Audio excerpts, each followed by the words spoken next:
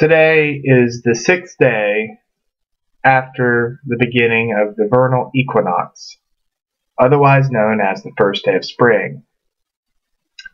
You can tell it's spring because of my springy, colorful tie.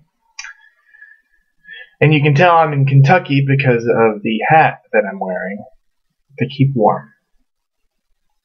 It is also the anniversary of Walt Whitman's death. Walt Whitman, if you don't know, is the greatest American poet of the 19th century.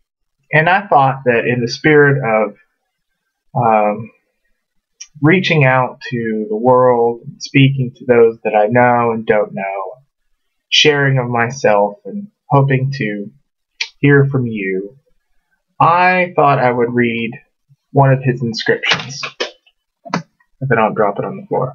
Anyway, this is just one of his poetic inscriptions, and it is entitled To You.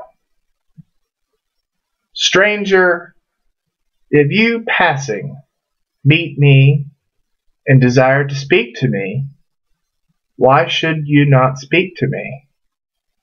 And why should I not speak to you?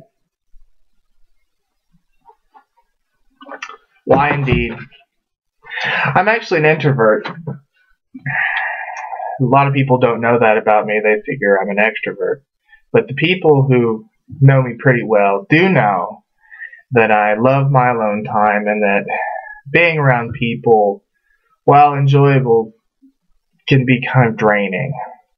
And I am one of those that I try to be polite when I walk the hallways of the hospital where I work or when I walk the streets of Lexington, I try to nod and smile, and acknowledge those that I see on the road, but really in my heart, I want to wish them well, but I would rather just not have to talk to anybody. So I know that sounds kind of misanthropic um, and antisocial. I really don't want to be that. What I want to be like is like Whitman, who who speaks to the reader hundreds of years, well, not really, uh, you know, 150 so years after he's written a poem. Uh, and he says to us, Gosh, I'd love to talk to you. Why wouldn't I want to talk to you? Why do we have to be strangers in this world? As he figured everyone was a brother and a sister.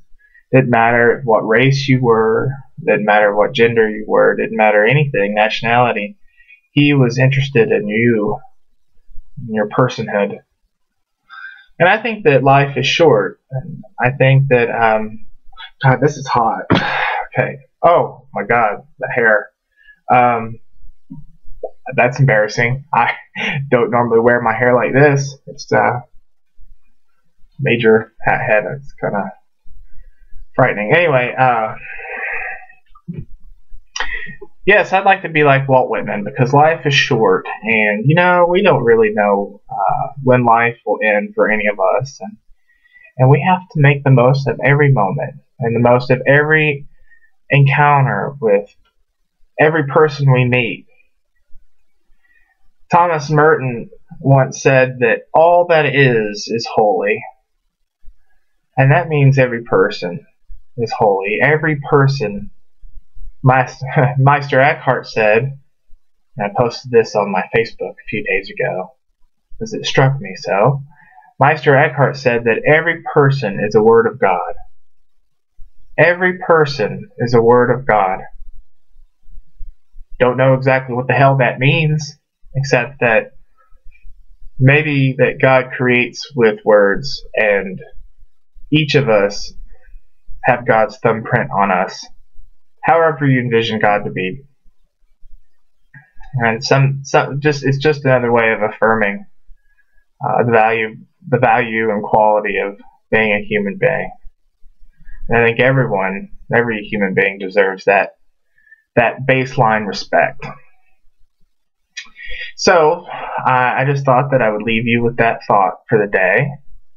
I don't really have anything more interesting to say right now because I just got home from the hospital and really need a cup of coffee.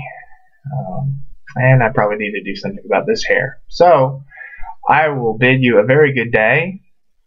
Please go read some poetry today. Do something life affirming. Be kind to yourself. Whatever, whatever, whatever. I'm going to go pet my dog. See ya.